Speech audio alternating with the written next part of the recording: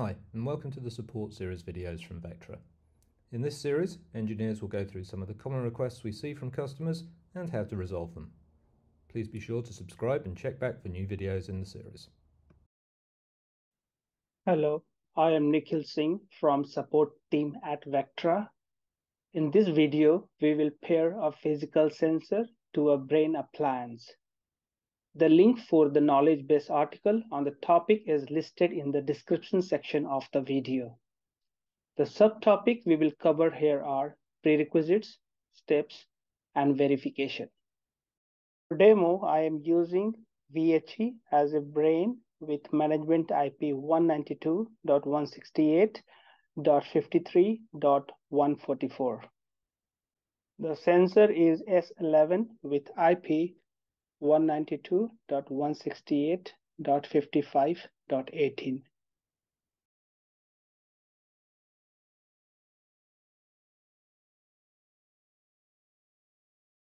Prerequisites are first, the brain should be able to reach update to.vectranetworks.com over port 443.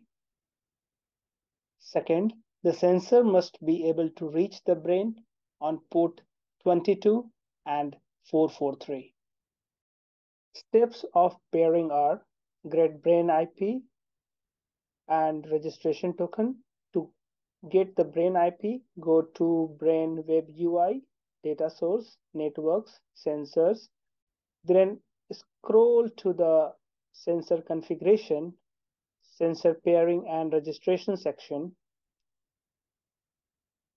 get the IP from pair using Cognito Brain Management IP address. Go to new registration token to click on generate new registration token. The new sensor registration token is valid for 24 hours. Many sensors can be paired with the same registration token. Copy the registration token by clicking on the copy button Second step is set registration token and brain IP address on sensor. Go to the sensor and run the command set registration token and copy the registration token from the brain.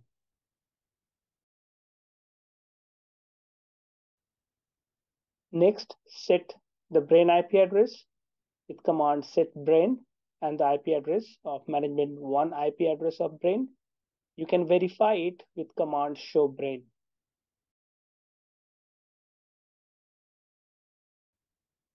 Now we have to wait for few minutes for correct status to show. First is refresh the web UI.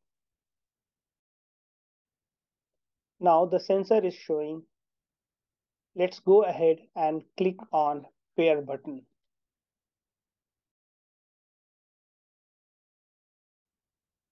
We have to wait for a few minutes for a status to change.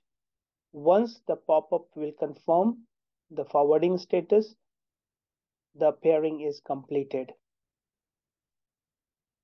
We can verify the pairing status at two places. First, go to BrainWeb UI, data source, network, sensors. The status of the sensor should be showing as forwarding. Another place we can verify is Brain Web UI, network status, ingested traffic, scroll to the sensor. The last connection column should show the date time of the time when uh, this sensor was last connected to the brain. Thank you for watching the video and have a nice day ahead.